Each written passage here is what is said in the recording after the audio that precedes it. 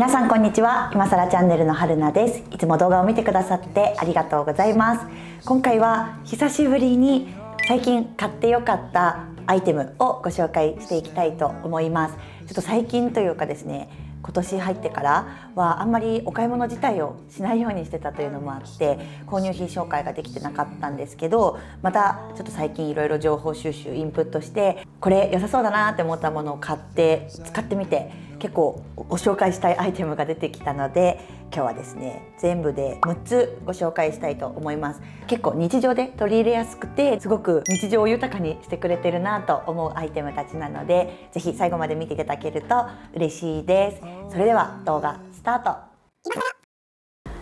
まず1つ目がこちらです。じゃん。なんだか分かりますか？この円形のものなんですけどこちらがワイヤレス充電のコンパクトキットなんですよ。こちら楽天で3480円で購入をしました。どういうどこが充電キットなのって思われると思うんですがこちらを開けてみるとパカーンじゃーん。こんな感じでですねこの中に充電ケーブルとその他変換アダプターなどがぎっしり入ってるんですよ。可愛いですよね。もう見た瞬間え素敵と思って 購入をして今実際に愛用しています。というのも私相変わらずガジェット類はこちらのモンベルのお気に入りのポーチにいつもいろんなものを忍ばせて いましてすごい分厚いし結構これがですね重量があるんですよ。お出かけのついでにちょっと作業する時に充電なくなると困るなぐらいの時にここから必要なものだけこう取り出して持っていくのとかが面倒くさいなって思ったりしていてコンパクトにまとめられたらいいなと思っていた矢先に見つけたのですぐに購入をしたという経緯になります。でですねこれ中に何が入ってるかというとまずケーブルですね。90センチしっかり長さのあるケーブルがこの下のところに巻きついていてそれはどちらも端子が USB Type-C になっています。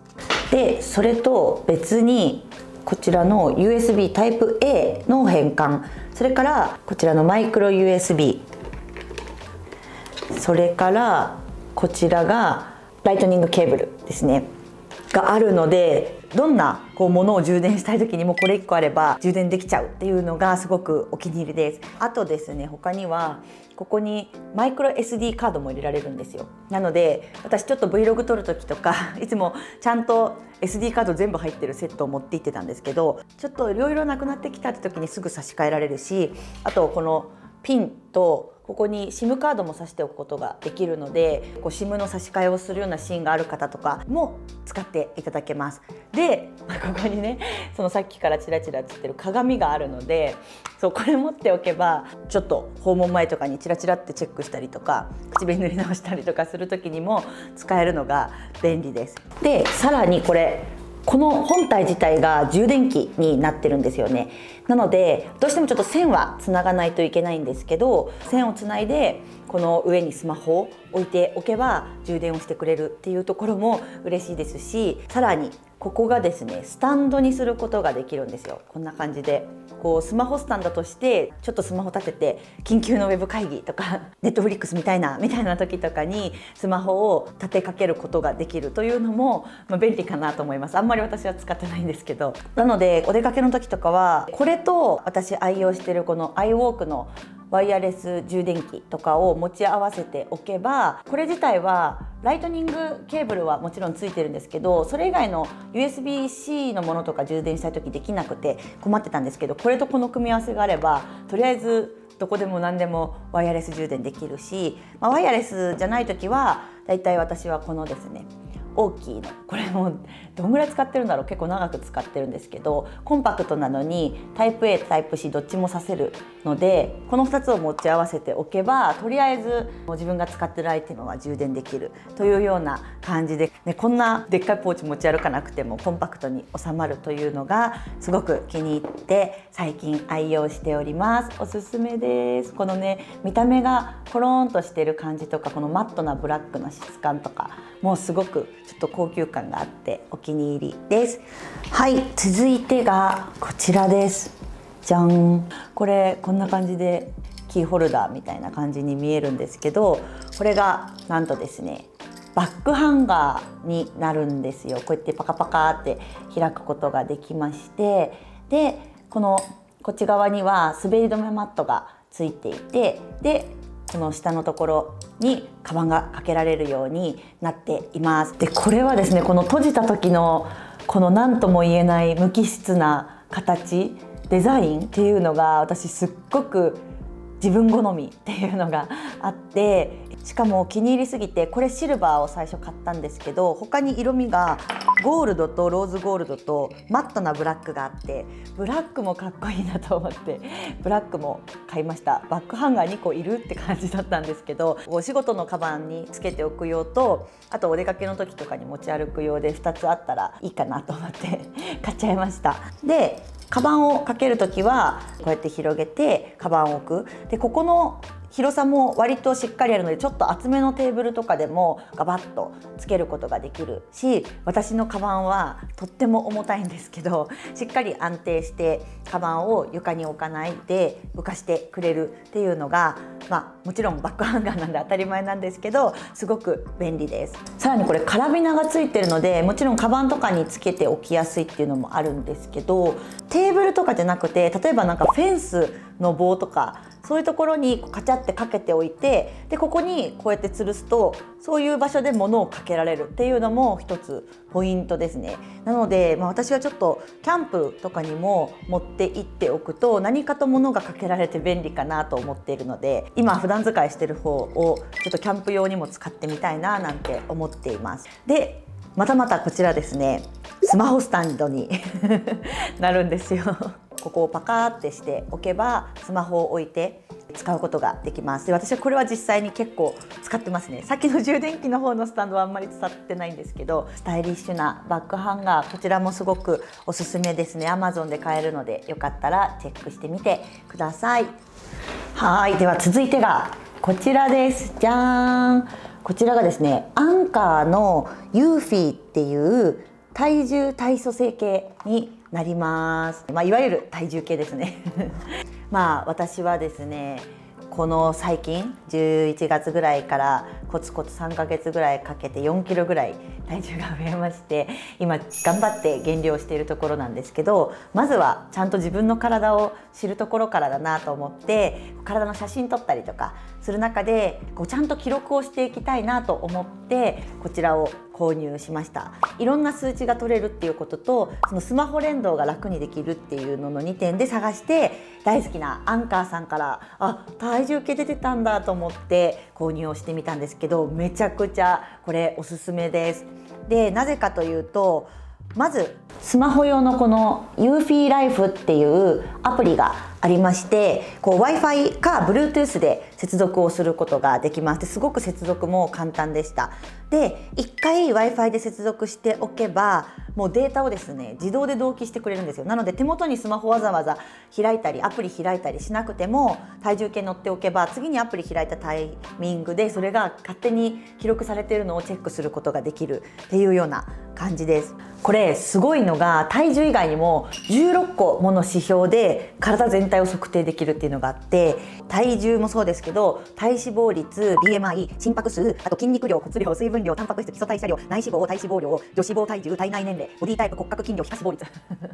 すごいですよね。これ全部ちゃんと取ってくれてて週ごとでの変化とか月ごとでの変化とかみたいなのも見れるようになっております。のでですねすごく面白いです自分のデータを見るのが。アプリの画面はね私のデータが入っちゃってるので 恥ずかしくてお見せできないんですけど。あと個人的に気に入ってるのがこんな感じで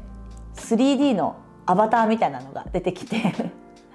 自分の体型今こんな感じじゃないっていうのを出してくれるんですよ。でもこれがちょっと体重が減っていけば細くなっていくみたいな感じでパッと可視化して見れるっていうのもなんかちょっとモチベーションが上がってやる気になるのでそういう意味でもすごく気に入っています。はい。続いてがまたちょっと家電シリーズなんですけどアイリス大山さんのハンディクリーナーです。まあいわゆるコンパクトな掃除機ですね。でこれはちょっと買ったものではなくて実はあの会社の忘年会で景品でもらったものなんですけどちょっとずっと開けてなくてやっと最近開けて使ってみたらめちゃくちゃいいめっちゃ便利っていう風になっているのでちょっとご紹介をさせていただきたいなと思います。これはですねこんな感じの充電をする台みたいなのがあってここに普段カポってはめておいて充電をしてで使う時はそこから外してワイヤレスで使えるささっと使えるっていう感じです。でこれ 500g しか重みがないので本当に全然重たくなくてでコードレスで使うことができてまあ2.5時間ぐらい充電しておけばこう連続して20分ぐらいは使えるらしいんですよ。で私車の掃除に使えるかなと思ってこのアイテムゲットしたんですけど思った以上にお家で重宝しているっていうのがあって今回ご紹介しようと思いました。というのも私の家はロボット掃除機のルンバを導入しているっていうのがあって普段は広いところはルンバくんがお掃除をしてくれてるんですよね。でもやっぱり角の方にちょっとホコリが溜まってきてるのが気になったりとかルンバが入れないスペースがちょっと汚れてたりとかやっぱりロボット掃除機だけだとちょっと厳しいかな。ただああいうちょっと大きい掃除機を買うとなんか場所も取るしちょっと面倒くさいな、まあね、今のダイソンみたいなスタイリッシュなのもあるんですけどなんかそれでもちょっと掃除面倒くさいなっていうぐらい ズボラなのでで思ってた矢先こちらをゲットしてこれでですねそれ全て解決するんですよ。本当にその掃除のハードルがすごく低くなってすぐささっときれいにできるようになったので掃除自体のストレスもないしうわあそこ汚れてるけどまあいっかみたいな ストレスもなくなったのでそういう意味ですごく気に入っております。でですねアタッチメントが2つついてるのでこっちのタイプにするとソファーとかカーペットとかも掃除ができるしこっちのタイプにするとじゃーんブラシになってるので結構私はあのキーボードの掃除をする時とかにも使っていてとても重宝しています。でこの細いところは細かいところのゴミが取れるっていう感じですね。ということでハンディクリーナーってまあなんかまさに今更アイテムではあるんですけどこんな便利だったんだもっと早く出会ってたらよかったなと思ったのでちょっとご紹介をさせていただきました。はい続いてがですねこちら。じゃーん。こちらはですねお料理の時に使えるトングなんですよ。で見た目もねスタイリッシュで可愛いんですけどただのトングではなくって絞りトングと言われています。どういうことかというとこれですねこういう風に2人合わさるような形状になってるんですよ。これによってレトルト食品あるじゃないですか。こういうのをしっかりピターって挟んでスーってこう絞ることができるっていうようなアイテムです。私料理はあんまりしないんですけどレトルト食品はよく食べるのでですねいつもピーって切ってジャーって入れてなんか余ってるのをこう手でこう頑張ってこうやって折ったりとかしてね あの無理やり最後までもったいないので絞り出すみたいな感じだったんですけどこれを使い始めてから別に力入れずに本当にピッて挟んでスーってやるだけで本当に中に何も残らないぐらい綺麗に絞り出すことができるのですごく画期的と思って 気に入っております。でね普段はパスタの時だったらそれこそ麺を取り上げるのに使ったりとかささっとちょっと炒め物する時にこう使ったりとかもできるのでトングとしても使えるし絞り器としても使える。というところがすごく気に入っていて最近使っております。ぜひぜひチェックしてみていただけたら嬉しいです。はい最後が美容アイテムのご紹介です、えー、こちらですね Vlog でも一回ご紹介したんですけどクレアスというブランドのフレッシュリデュースドビタミンドロップと呼ばれる美容液になっています。なんか一応導入に使っていただくといいって言われているみたいで私化粧水の前につけて使っていてちょっと気に入りすぎて1本すぐなくなっちゃったので 2本目を購入したところです。でね私は Amazon で買いました。2000円とかなんですよ。韓国コスメですごくお求めやすい価格で購入ができます。これ温感ビタミン C セラムって言われていてもうちょっとその肌にのせるとあったかい感じで顔を包み込んでくれるんですよね。ホットクレンジングとかよりは暖かさは少ないんですけどジュワーってこう暖かくなって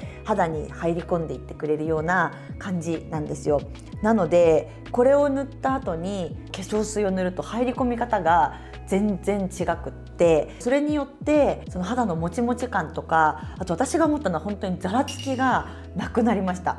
本当にこれやって化粧水塗ってパックしてで最後お肌触るとですねほんと陶器みたいなえ自分の肌？みたいなぐらい肌が本当になんか一個膜が張ったかのようなつるんと肌になるっていうのがあってちょっと手放せないっていう感じになりましたね。レビューとか見てると合う合わないはやっぱりすごくあるみたいなので一回ちょっと使ってみて合わなかったらすぐやめた方がいいかもしれないんですけど私はすごく合っていてもう一時期ほんと不摂生続いてねあの肌荒れすごかったんですけどだいぶ良くなってきたのですごくおすすめの最近のアイテムです。なんかビタミンドロップなのでこれ使った後にはちゃんと日焼け止めを塗りましょうねとかレチノールとかケミカルピーリングとかなんか一緒に使わないでくださいねっていう成分もウェブサイトの方には書いてあるのでそのあたりもしっかりチェックして使っていただく方がいいかなと思います。よかったらチェックしてみてください。はいということで久しぶりの購入品紹介でした。いかがでしたでしょうか？やっぱりお買い物して使ってみて自分の生活が豊かになってとか便利になってってすっごく幸せ。なんか自分がポジティブにいるためにすごく大事なことだなと思うのでまた来月からもですねお気に入りのアイテムっていうのは定期的に紹介していけたらなと思っております。皆さんがおすすめのものもぜひコメントとかで教えていただけると嬉しいです。ということで本日も最後まで見ていただきありがとうございました。また次の動画でお会いしましょう。